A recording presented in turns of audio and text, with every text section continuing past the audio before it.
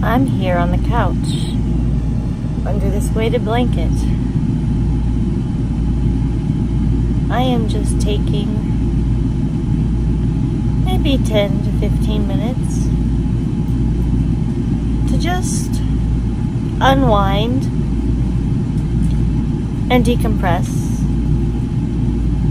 I have been in very stimulating environments frequently and for prolonged periods of time, fairly often recently, and I'm feeling a bit overstimulated.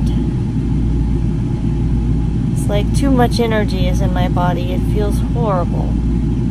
And so, engaging in soothing activities is one way I regulate. So, this is me taking a break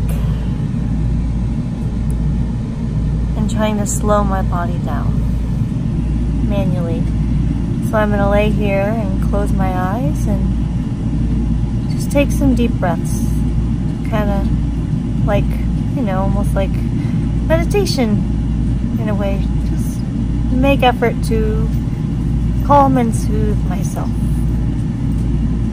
Do you have any calming and soothing routines or rituals that you use to help unwind and slow yourself down if you find yourself moving a bit too quickly? Let me know. Because these strategies, uh, we could always use more of them. Thank you guys. I'll talk to you next time.